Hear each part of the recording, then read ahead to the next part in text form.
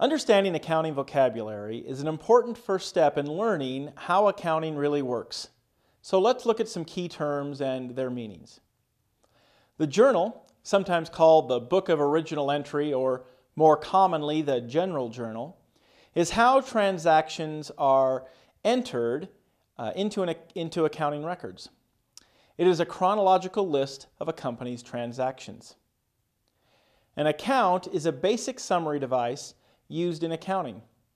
All of the related transactions to a particular account are recorded in that account. For example, all of the transactions affecting cash would be recorded in the cash account. Accounts are grouped into five broad categories, which include assets, liabilities, equity, revenues, and expenses. We will learn how financial data moves from the journal into the account later. In an academic setting, the account is often expressed as a T account. Uh, two additional terms that are very important in accounting are debit and credit.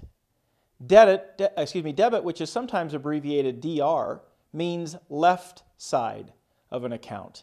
And credit, which is sometimes abbreviated CR, means right side of an account. And that's it. Debits and credits are how different accounts are increased or decreased, but they don't mean increase or decrease because it depends on which account they affect.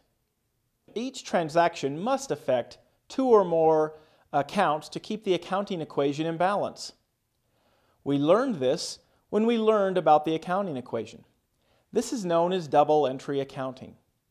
So every transaction must include at least two accounts.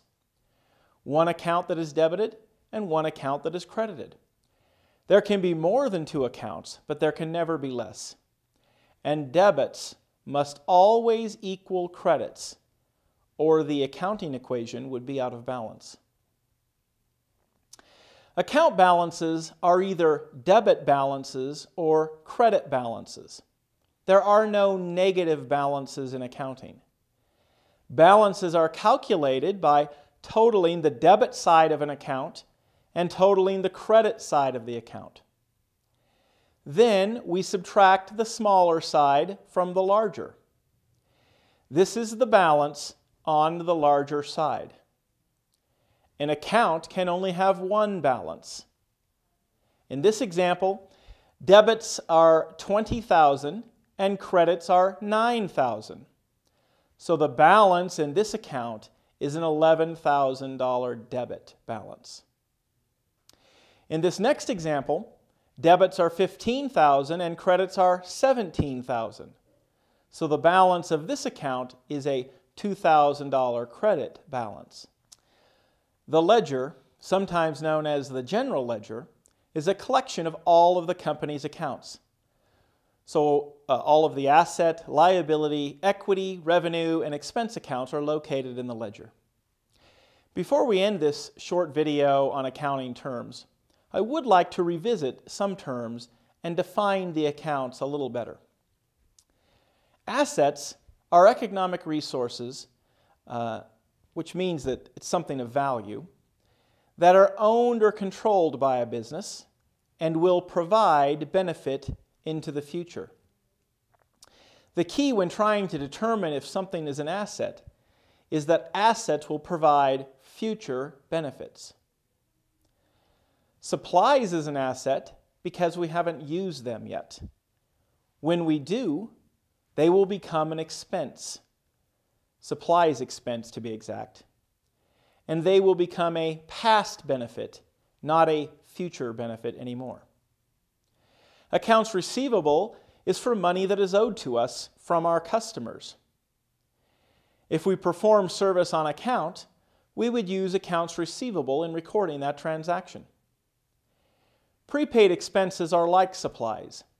They will become a past benefit, but until they do, they are an asset. Liabilities are claims on our assets from external parties like creditors. Accounts payable is for money that we owe to our vendors or suppliers. Accrued liabilities, sometimes called accrued expenses, are amounts that we owe for our bills related to our operations.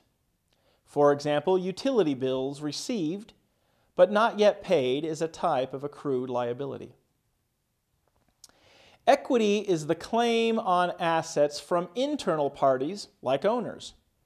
It is sometimes called net worth or net assets because it's the value of the asset that remains after our liabilities are paid off or settled.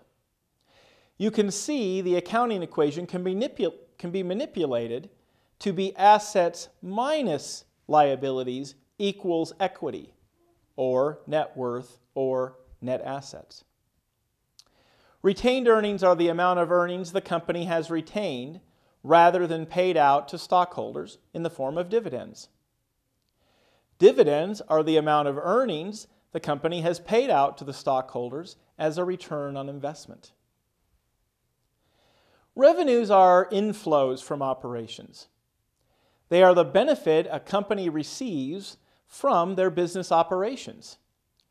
Recall that they increase equity, but are not technically equity accounts. Service revenue is earned by performing service. Sales revenue is earned by selling goods. Expenses are outflows from operations. They are the costs companies incur from their business operations the account costs of goods sold, is not obvious that it is an expense account. For retailers and manufacturers, it is often their largest expense. It is titled exactly what it means. It is the cost of the goods sold.